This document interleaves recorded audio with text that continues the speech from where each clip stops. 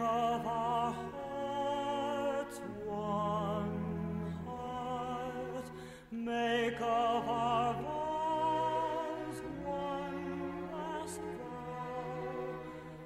Only death will part us now.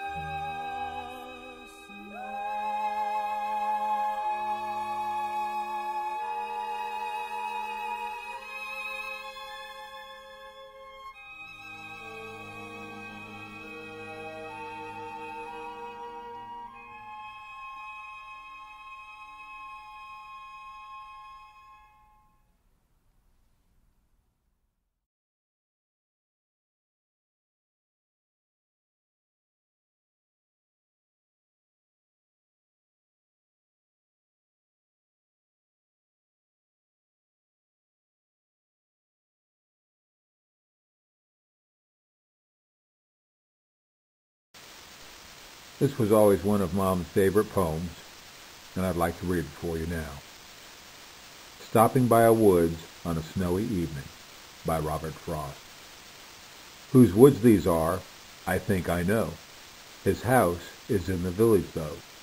He will not see me stopping here to watch his woods fill up with snow. My little horse must think it queer to stop without a farmhouse near, between the woods and frozen lake, the darkest evening of the year. He gives his harness bells a shake to ask if there is some mistake. The only other sounds the sweep of easy wind and downy flake. The woods are lovely, dark and deep, but I have promises to keep, and miles to go before I sleep, and miles to go before I sleep.